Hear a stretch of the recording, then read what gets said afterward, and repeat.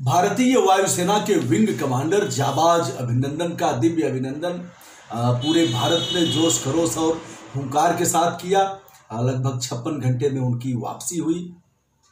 अब सभी के जहन में एक ही सवाल कौंध रहा है कि जिस प्रकार का पाकिस्तान ने एक वीडियो वायरल किया था अभिनंदन का, जिसमें अभिनंदन ने पाकिस्तानी सेना की सराहना किया था। यह कहा था, यहाँ के सैनिक बहुत अच्छे हैं, हमारे साथ कोई दुर्व्यवहार नहीं हुआ। और इन लोगों ने हमारा ख्याल रखा, मीडिया पर भी करारा प्रहार करते हुए। अभिनंदन ने कहा, भारतीय मीडिया किसी मामले को जोड़ तोड़ करके, नमक मिर्च लगा करके ऐसे उनका कहना था, यह सुखद नहीं है। उन्होंने कहा, यह बात मैं वहाँ जाकर के भी लोगों से बताऊँगा। अब सभी के जहन में कई सवाल है कि क्या सच में पाकिस्तानी सैनिकों ने उनके साथ अच्छा व्यवहार किया, इसलिए जेहन से यह बात निकली? यद्यपि दर्जनों कट हैं। आपने भी देखा होगा, हमने भी देखा। बार बार कट करके उसे एडिट करके जोड़ा गया है। बात सही है, जान बचाने के लिए व्यक्ति कुछ भी कहेगा। धर्म भी कहता है कि यदि ऐसी परिस्थितियाँ आए तो पहले किसी भी तरह से आप अपनी जान बचाइए। जीवन बड़ा बहुमूल्य है।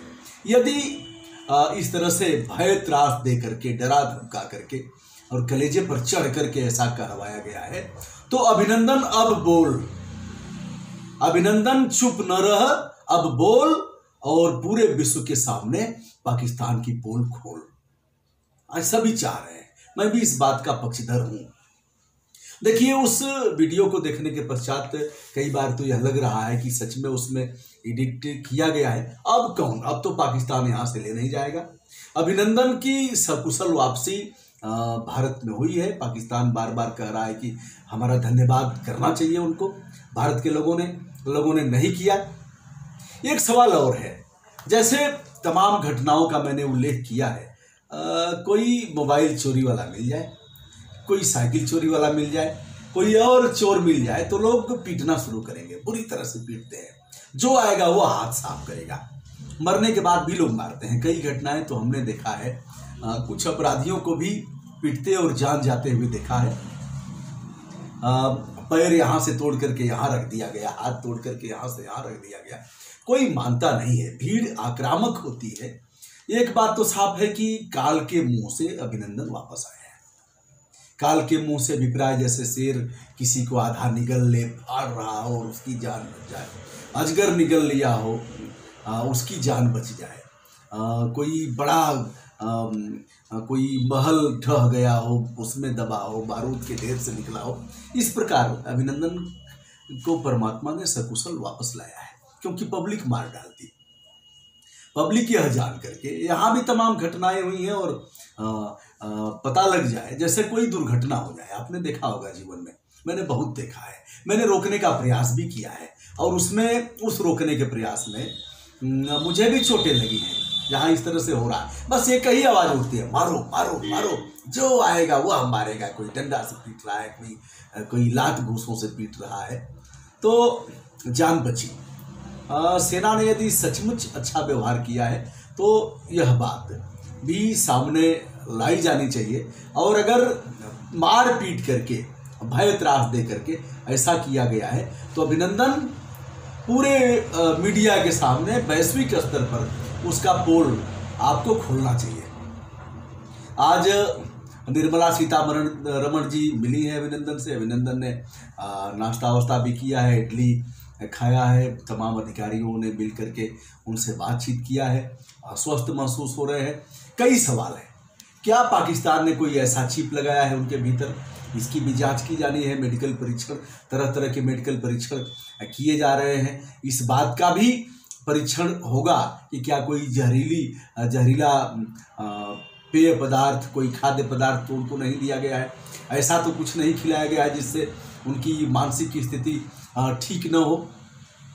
यह तमाम सवाल ऐसे हैं, खाना में क्या दिया गया, कहाँ रखा गया किन किन लोगों ने बातचीत किया और किस प्रकार मानसिक स्तर। एक बात और है, उस जाबाज बहादुर विंग कमांडर की भूरी भूरी प्रशंसा देश कर रहा है विश्व कर रहा है। आप महसूस करिए। एक तो अ, पाकिस्तान के एफ़ सोलह को खदेड़ते हुए गए। मार गिराया जैसा बताया जा रहा है। इनका मिग इक्कीस नष्ट हुआ पैराशूट से कूदे। यह नष्ट होना इनका विमान का नष्ट होना पैरासूट से कूदना यही वह विषय है जहाँ हार्ट अटैक हो जाएगा। आदमी मर जाएगा कि यार अब तो मेरा जीवन गया। बहादुरी से पैरासूट से कूदना पैरासूट हमारा समुद्र पर जाएगा, पहाड़ पर जाएगा, पेड़ पर जाएगा, कहाँ जाएगा? अब तो जीवन हमारा गया। अभिनंदन वहाँ कूदते हैं, लोग घेरते हैं। अभिनंदन ने पूछा, हम कहाँ हैं? किसी ने बताया, आप हिंदुस्तान में है, भारत माता के नारे लगाते हैं, फिर उधर से नारा लगता है पाकिस्तान। जिंदाबाद फिर फायर करते हैं, जान बचाते हैं, कुछ जो आवश्यक पेपर हैं, उसको निगल जाते हैं, पानी में कूदते हैं, यह सब सामान्य घटनाएँ नहीं है। असामान्य घटनाएँ हैं। और पल पल मृत्यु नाच रहा हो जिसके सामने। तो एक अभिनंदन का, दिव्य अभिनंदन करता हूँ और अभिनंदन से चाहता हूँ, जो भी यथार्थ से आच्छादित है, पूरे समाज के सामने आपको रखने की आवश्यकता है।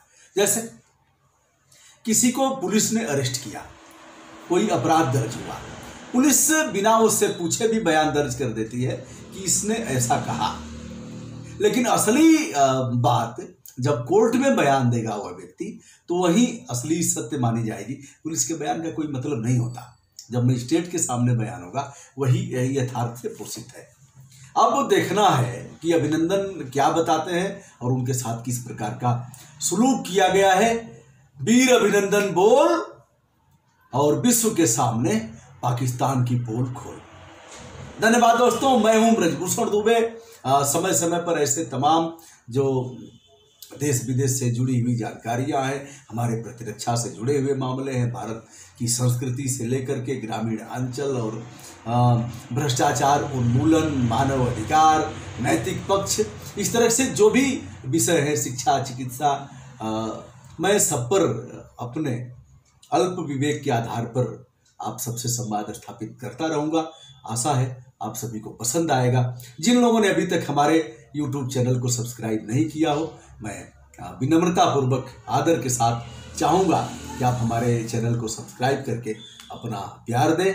आज हम हैं दो मार्च 2019 को शाम के वक्त इस पक्ष का अनावरण करते हुए और अपनी बात रखते हुए सभी को विनम्र भाव से यथोचित नमस्कार।